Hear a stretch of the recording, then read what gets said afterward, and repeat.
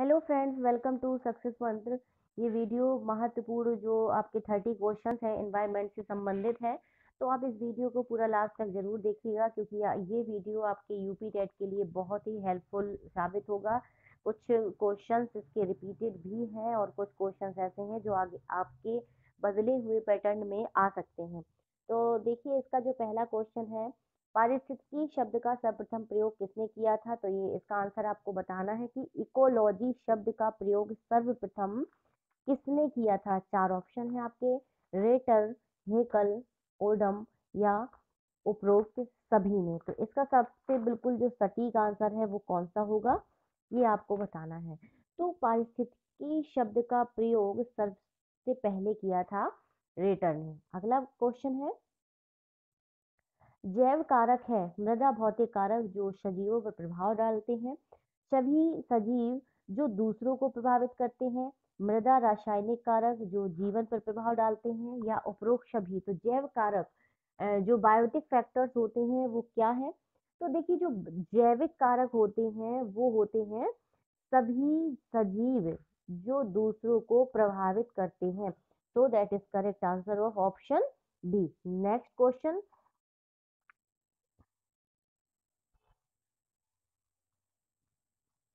भोजन, स्थान तथा प्रकाश के लिए सबसे अधिक प्रतिस्पर्धा होती है।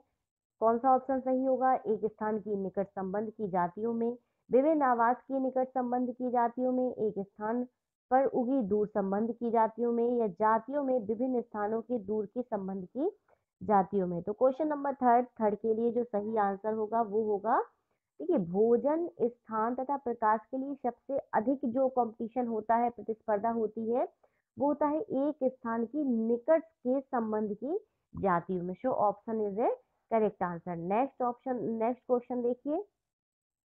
चट्टानों के बड़े टुकड़ों के टूट टूट कर सूक्ष्म कणों में परिवर्तित होने को कहते हैं। क्या कहते हैं?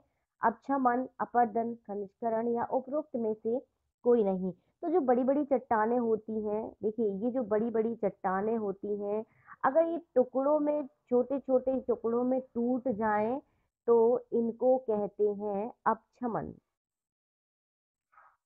ऑप्शन ए, नेक्स्ट प्रश्न देखिए।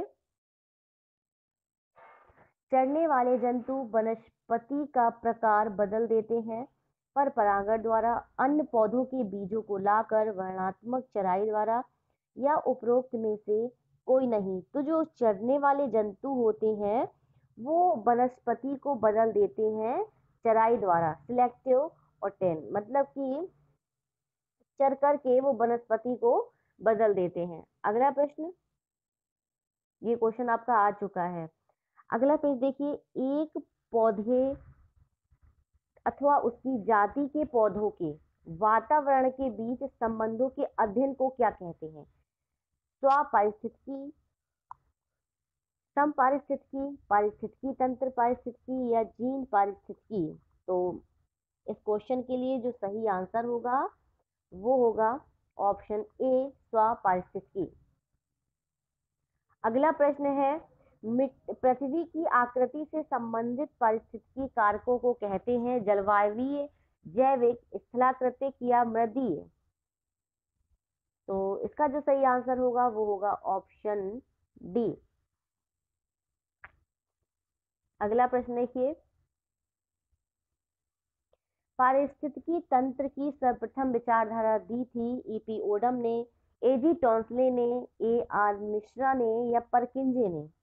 तो इसका जो सही आंसर होगा ए जी टॉन्सले पारिस्थितिकी तंत्र, ध्यान दीजिएगा इकोसिस्टम की जो विचारधारा सर्वप्रथम दी थी, वो दी थी टॉन्सले ने। अगला प्रश्न देखें।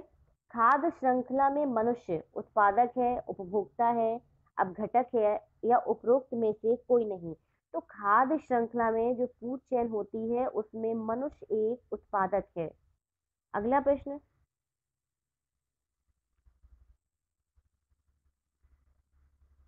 हरे पौधे प्रकृति में उपभोक्ता है, उत्पादक है, ए तथा बी दोनों हैं या उपरोक्त में से कोई नहीं?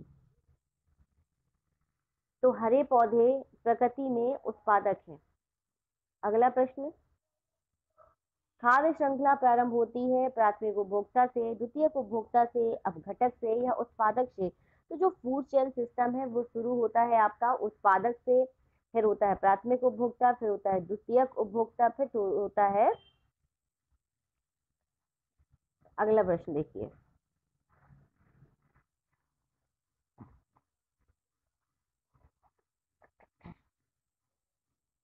जलीय वातावरण में सूक्ष्म जीवों को क्या कहते हैं?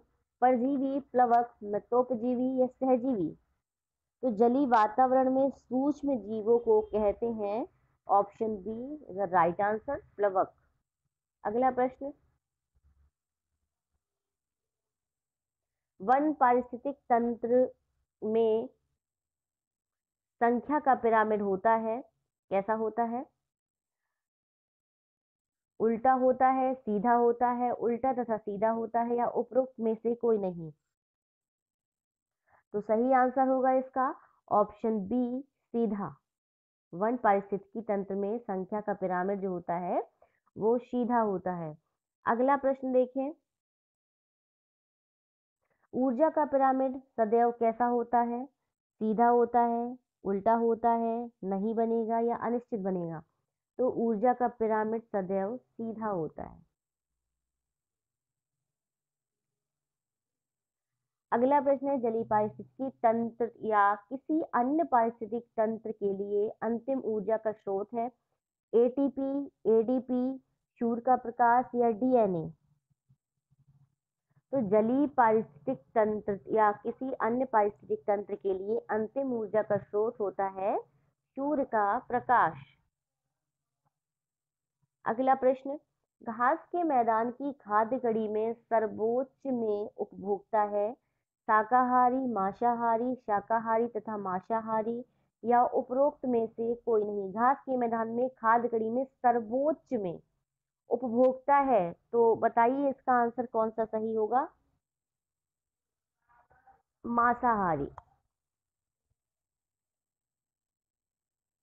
अगला प्रश्न है, घास के मैदान में जीव भार का पिरामिड होता है, सीधा, उल्टा उल्टा तथा सीधा दोनों या उपरोक्त में से कोई नहीं तो जीव भार का पिरामिड होता है सीधा। अगला प्रश्न देखिए, आप लोग भी इसमें आंसर दीजिए क्योंकि अच्छा होगा कि आप लोग भी आंसर देंगे। अगला प्रश्न, क्वेश्चन नंबर 18 निम्नलिखित में से कौन सा प्राथमिक या मूल उत्पादक है, चूहे, शेर, घास या सांप। देखिए, जो प्राथमिक या जो मूल उत्पादक होते हैं, वो कौन होते हैं? जल्दी से इसका आंसर दीजिए। ये होता है ऑप्शन सी, घास। ये मूल, प्राथमिक या मूल उत्पादक होती है घास। तो option C is the right answer. अगला प्रश्न देखिए। यदि जैवमंडल में के, में से कार्बन डाइऑक्साइड निकाल दी जाए तो सर्वप्रथम कौन से जीव प्रभावित होंगे? अगर कार्बन डाइऑक्साइड निकाल दी जाए तो कौन से जीव प्रभावित होंगे? सो ऑप्शन, प्राथमिक उपभोक्ता द्वितीय उपभोक्ता तृतीय उपभोक्ता या आपका प्राथमिक उत्पादक। तो इसका जो सही आंसर होगा, वो होगा प्राथमिक उत्पादक, क्योंकि जो प्राथमिक उत्पादक होते हैं, वो आपके कार्बन डाइऑक्साइड को ग्रहण करते हैं और ऑक्सीजन को निकालते हैं। तो सबसे ज़्यादा इफ़ेक्ट इनमें ही पड़ेगा। अगला प्रश्न। क्वेश्चन नंबर ट्वेंटी निम्नलिखित में से, किन में खाद्य श्रृंखला पाई जाती है? समुद्र में, तालाब में, वनों में या उपरोक्त सभी में? तो जो खाद्य श्रृंखला होती है, वो समुद्र में भी पाई जाती है, तालाब में भी पाई जाती है वनों में भी पाई जाती है। तो option D is correct answer अगला प्रश्न देखिए। क्वेश्चन नंबर ट्वेंटी वन घास स्थलीय पारिस्थितिक तंत्र में खाद्य श्रृंखला का सही क्रम है।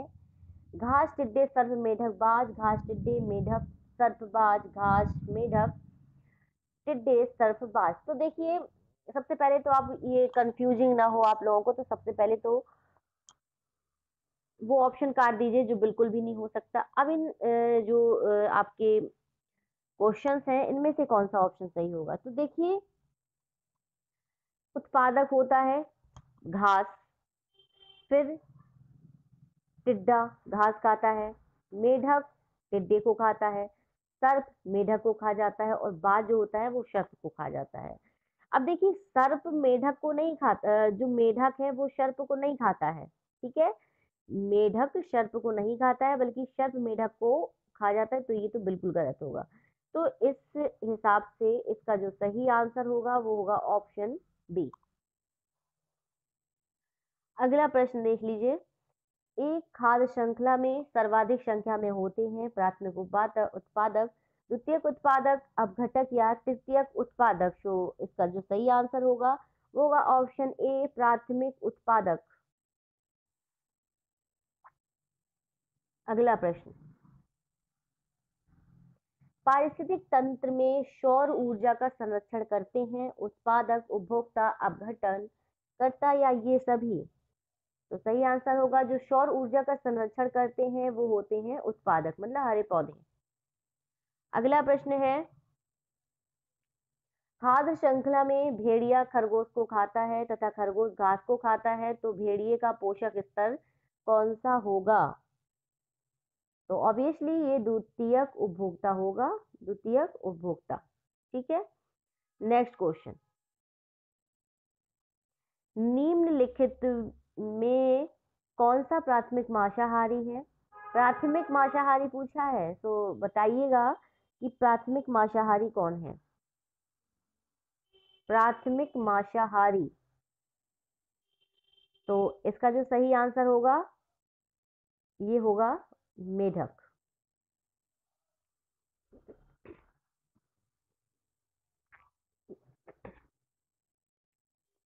अगला क्वेश्चन है पारिस्थितिक तंत्र के दो भाग पादप और जंतु, घास और पेड़, जैवी और अजैवी उपरोक्त में से कोई नहीं।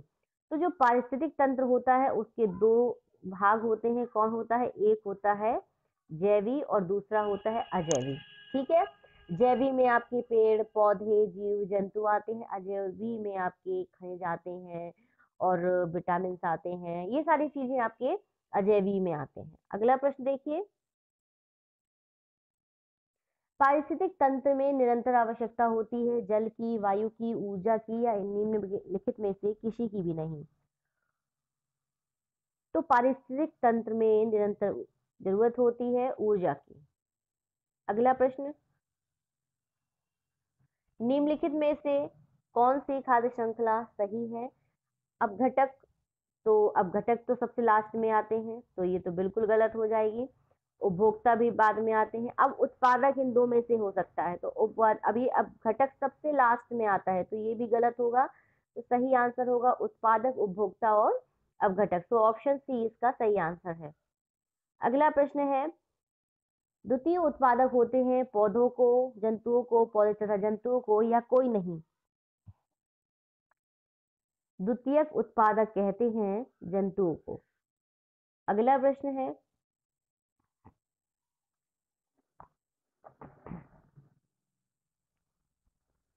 जैविक संतुलन पाया जाता है उत्पादक तथा उपभोक्ताओं के बीच, उत्पादक व अपघटकों के बीच, उत्पादक, उपभोक्ता तथा अपघटकों के बीच या केवल उत्पादकों के बीच? तो इसका जो सही आंसर होगा, वो होगा ऑप्शन ए, जैविक संतुलन पाया जाता है उत्पादक व उपभोक्ताओं के बीच। तो option A is correct answer तो फ्रेंड्स ये थर्टी क्वेश्चन थे इनमें से आपने कितने आपके सही थे, आप स्कोर में ज़रूर बताइएगा। और आप लोग हमारे लाइव सेशन को ज़रूर ज्वाइन करें, जिससे आप लोग लाइव आंसर कर पाएँ। तो अगर आप लोगों ने चैनल को अभी तक सब्सक्राइब नहीं किया है तो प्लीज़ चैनल को सब्सक्राइब कर लीजिए और बेल आइकन प्रेस कर दीजिए, जिससे सभी नोटिफिकेशन आप तक पहुँचते रहें।